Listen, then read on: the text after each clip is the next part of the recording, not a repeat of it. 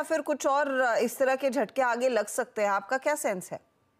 देखिए, जो सफ़ाई अभियान शुरू हुआ था पिछले दो हफ़्ते पहले पहले तो धीरे धीरे हुआ, पहले एक दो दिन हमने देखा ठीक ठाक थोड़ी सी जो कटौती आई small cap mid cap indices में। उसके बाद एक दो भारी दिन भी देखे, जब अच्छी खासी जो फ्रॉथ है, उसको सेटल किया। मार्केट ने तो मार्केट ये एक एक जिसको कहते हैं ना सेल्फ फुलफिलिंग उस पर चलता है कि भाई अपने आप को एक्सेसेस को कहीं ना कहीं काटने की कोशिश होती है कि बहुत ज़्यादा एक्सट्रीम पे जब ग्रीड की तरफ़ मार्केट चला जाए तो वहाँ से उसको फेयर पे ले आते तो कहीं ना कहीं रुझान बैलेंस होना शुरू हो जाता है। मुझे लगता है अभी भी वॉलिटिलिटी रहेगी, लेकिन जो आपने देखा होगा कि जहाँ पे फ्रॉड थी या जो बहुत ही छोटी कंपनीज़ थी, जहाँ वैल्यूएशन सपोर्ट नहीं कर रहा था उनके प्राइसेस में आपको कटौती हुई है। लेकिन फिर भी ये तीस परसेंट, पैंतीस परसेंट के घूम रहे हैं सारे, बहुत सारे एक्सेल शीट के चार्ट्स की।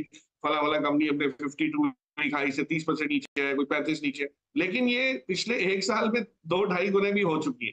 तो उनके जब भाव इतने ऊपर गए हैं और तीस परसेंट नीचे आए तो कोई ऐसी बात नहीं कि कोई बहुत वेल्थ डिस्ट्रक्शन हो रहा है। लेकिन जहाँ पे वैल्यूएशन कंफर्ट नहीं है जो बहुत ओवर प्राइस चीज़ें लग रही थी, वहाँ पे ही आपको देखा है, आपने कोई फॉलो थ्रू बाइंग नहीं आई है। लेकिन अच्छी कंपनी में जैसे ही थोड़ी सी गिरावट आती है, पैसा वापस लग जाता है। कहीं ना कहीं लोग वेट कर रहे होते हैं अच्छे लेवल्स की बिज़नेस अच्छा है वैल्यूशन ठीक ठाक आ गए लिक्विडिटी मिल गई आपको। तो कई फैक्टर्स है और उसका समावेश ये है इन सब चीज़ों में प्राइसेस में, कि अभी भी वॉलिटिलिटी रहेगी बट गिरावट मैं तो नहीं समझता। मैं तो मुझे तो दिख रहा है कि निफ्टी की जो कंपनीज़ है, जिस टाइप की उसमें परफॉर्मेंस आनी बाकी है अर्चदा और खास करके जो बड़े पॉकेट्स बैंक्स हो गया आईटी हो गया, अगर ये सब चलने लगते हैं तो निफ्टी तो शायद तेईस हज़ार, साढ़े तेईस हज़ार भी पहुँच जाएगी। सो और और वो बहुत समय ज़्यादा लगेगा भी नहीं।